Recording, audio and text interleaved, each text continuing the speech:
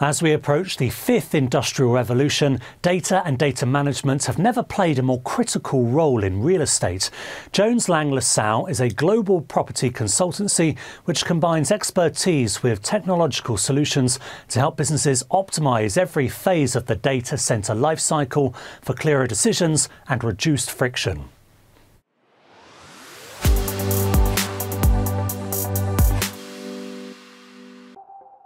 As one of the largest real estate companies in the world, JLL is at the forefront of the rapid change in the world of work due to AI and big data.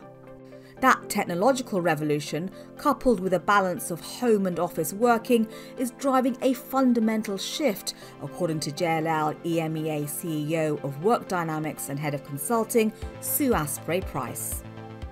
Hybrid is the new theme that is very much so here to stay. So what we're finding now is that office and work environments need to have a real purpose. They need to have a reason that people come into them. And what role is AI and data playing in that? The AI and the data is really helping us drive decision making to achieve lower cost and better outcomes. We're using AI as JLL to really determine how space is being used, where are there inefficiencies, and how do we improve that. And that's everything from the interior of, of ensuring that the right types of spaces are being used efficiently, but then also how the building is being run and managed. Our most recent Future of Work survey that we did, um, we spoke to a large number of occupiers on average, 44% of them felt that it would be a combination of blending the two, so to speak, where yes, AI would be used to drive decision making, but it would still need that human element. As well as reshaping the workplace, AI is also transforming the built environment on a much wider scale, such as increasing the demand for critical digital infrastructure. This includes data centers, the facilities that house the huge high performance computing frameworks necessary for AI to function. The rapid growth in AI is creating an unprecedented demand for data centers around the world. JLL is a key player in this sector, with Jonathan Kinsey as the company's data centers global lead. It's accelerating investment into the physical infrastructure around data centers. We're seeing some of the biggest private equity houses around the world put hundreds of billions of dollars into this critical infrastructure. What we're also seeing is the technology companies themselves invest huge amounts of money into building their own infrastructure. In the last quarter, if you look at the top three cloud service providers globally, something like more than $40 billion of capital expenditure is reported in their quarterly earnings to be allocated towards the infrastructure, the network.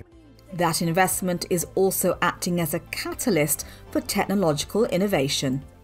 There will be value of that into other other sectors, other parts of real estate around the world. So whether that be critical environments within a life science type development, or whether it be simple technologies that are really critical to the technical nature of a data center, they may well be deployed into a more generic building, whether it be um, transport or industrial or office. This huge expansion requires much more power, making it harder to meet net zero carbon targets. But AI can also provide solutions to this, according to Guy Grainger, JLL's global head of sustainability. And there's lots of technology you can attach to buildings to create these smart data centers so they become uber efficient.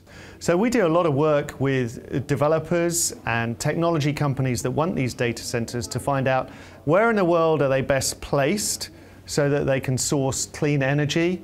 They're still in useful places, but they're also in places that aren't going to be impacted by climate events. You don't want these buildings to go dark, right? Otherwise, suddenly we can't access all this information and the world grinds to a halt.